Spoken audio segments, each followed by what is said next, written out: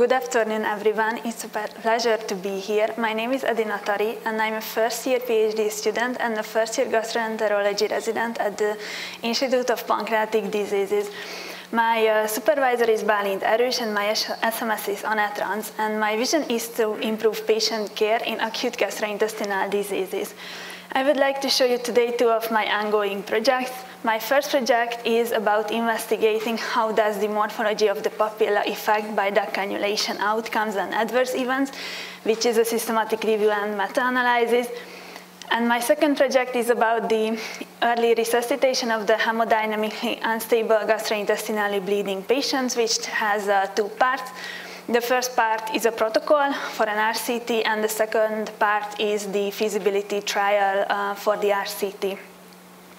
So first, let me talk more detailed about my first project, which is, as I mentioned, about how does the morphology of the major papilla affect bile duct cannulation outcomes and adverse events.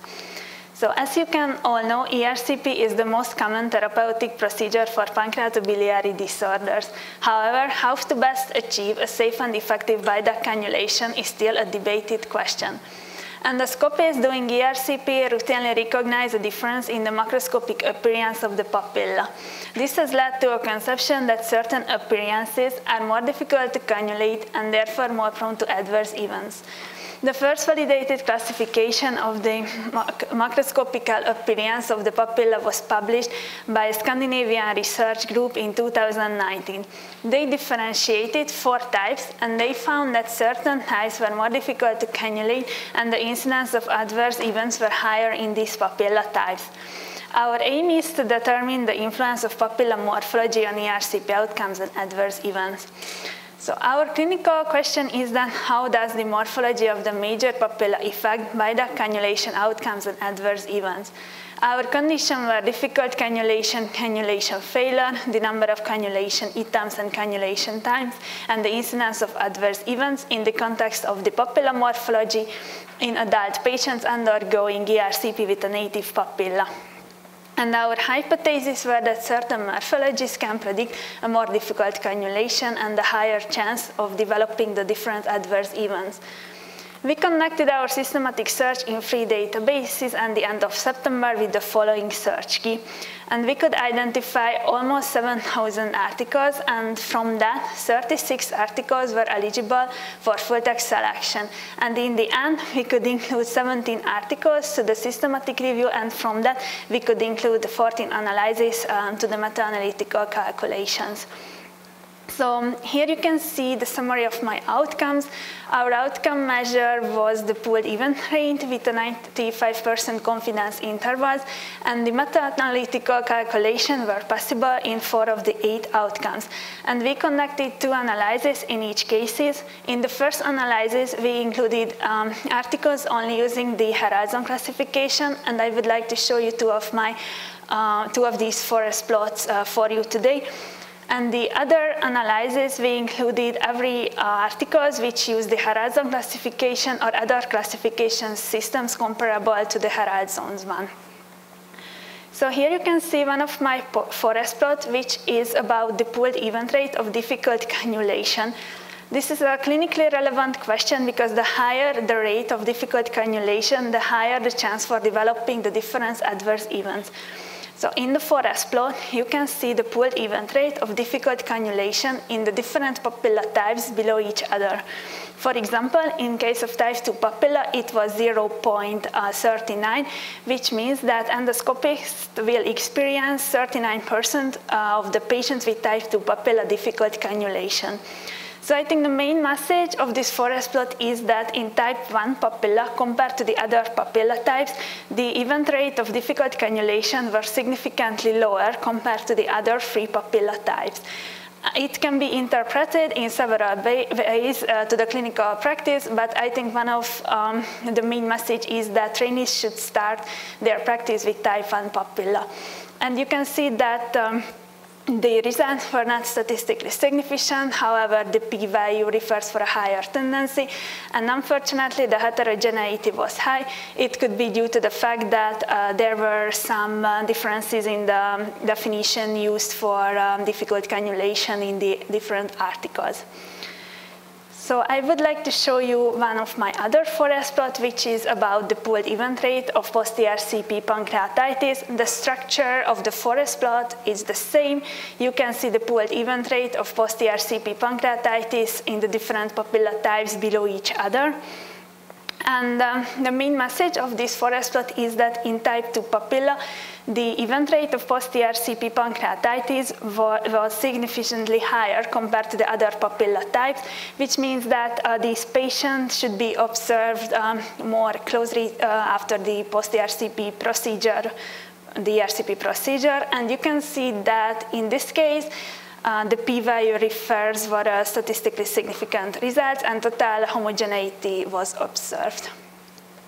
There were many strengths of our analysis. For example, it was a comprehensive study and um, the risk of bias uh, was low and no publication bias was detected. However, there were some limitations. For example, as I have mentioned, like there were some differences in the clinical definition and we included uh, mostly retrospective analysis. And in conclusion, differentiating between the different papilla types is clinically relevant because certain morphological variants can predict a higher rate of difficult cannulation and therefore a higher rate of adverse events. And the manuscript is finished and currently it's under review in our target journal, which is the GI endoscopy. And let me talk uh, very briefly about my second project, which is about the resuscitation of the hemodynamically unstable gastrointestinally bleeding patients. So acute gastrointestinal bleeding is a potentially life-threatening event, often requiring emergency medical care. One in four patients will develop hemodynamic instability, which is associated with higher rebleeding and uh, mortality rate. However, the recommendations in the guidelines regarding these patients' early care are insufficient. We conducted a systematic search to identify especially articles about vasopressor use in, in these patients, and we could identify only one article, which was an RCT conducted among uh, patients with uh, gastrointestinal bleeding in the state of shock requiring ICU care. And in the intervention arm, this patient received a limited fluid resuscitation combined with vasopressor use compared to the flu uh, standard fluid resuscitation in the control arm. And you can see that um, the resuscitation time and uh, basically all the other outcomes were better in the, um, in the arm uh, where the patients received the restrictive fluid resuscitation combined with vasopressor use. So our um, plan is to conduct an open label two-arm RCT with a superiority study design. Our patients will be the hemodynamically unstable patients with an acute gastrointestinal bleeding.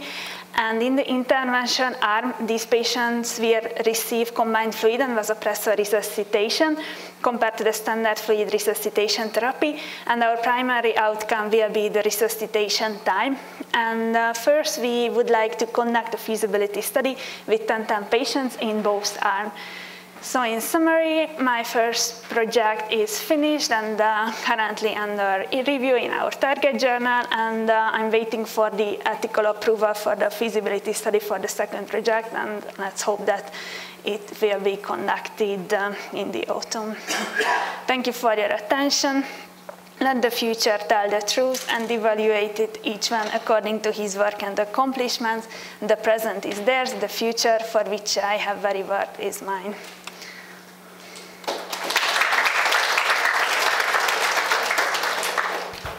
Thank you for the really interesting presentation. I would like to ask you a clarification question about your second forest plot. I mean, maybe if you could go back, I, don't know if you can, uh, to that figure. So this one, yeah. Um, what exactly is this uh, p, p, value? I mean, what what are the what is uh, compared to what? I'm not not really clear for me. Sorry. Thank you. So, thank you for your question. I'm not sure that I understand it correctly. So in the forest plot, you can see the pooled uh, event rate uh, of post-ERCP pancreatitis in the different papilla types. So in this one is for type 1 papilla and below it for type 2 and um, after that type 3 and type 4. So, and they compared with each other, to each other. Thank you, Edina, for your presentation. I think this, this p-value is for the subgroup differences. Yeah. Uh, so there was like a significant difference between the subgroups. Uh, my question is, uh, could you tell us some examples how different authors define difficult cannulations? Yeah, thank you for your question. So most studies use the um, definition, which means that uh, more than five attempts or more than five minutes, or uh, the cannulation of the pancreatic duct at least two times. But however, like some studies uh, excluded time, they used the definition like um, more than five, cannulating the papilla more than five times, or the pancreatic duct at least two times. Okay, thank you. And another question for the, the first uh, forest plot.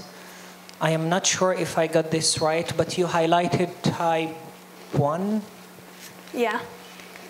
And I can see that type 4 has the highest rate of difficult cannulation? Yes, but um, the difference between type 2 and type 4 is, in my opinion, it's like not that much. Like uh, in um, type 1 papilla, uh, it's much more lower compared to the other three types, so that's why I highlighted that.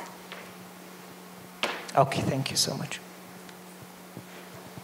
Congratulations. Regarding your second project, the PICO, if you would like to show us, please, what's going to be the cutoff value of what um, uh, clinical criteria you are going to use when you are going to separate patients who are going to get just standard fluid resuscitation or combined with vasopressor because we are talking about hemodynamically unstable patients altogether.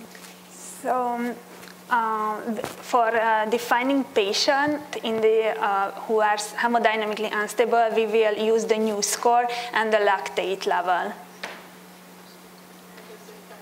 yeah, there will be like below um, two or above four bands. Also, there will be a cutoff level to defining patient in the state of shock. So if their lactate level will be um, high or the NEWS score, NEWS score will be uh, above a certain level, like these patients will also be excluded because um, we believe that they need a vasopressor regarding um, these uh, projects. Congratulations as well. Uh, just a quick question regarding the first article that you found for this uh, second project. Uh, they use dopamine as a vasopressor, yeah. if I understood.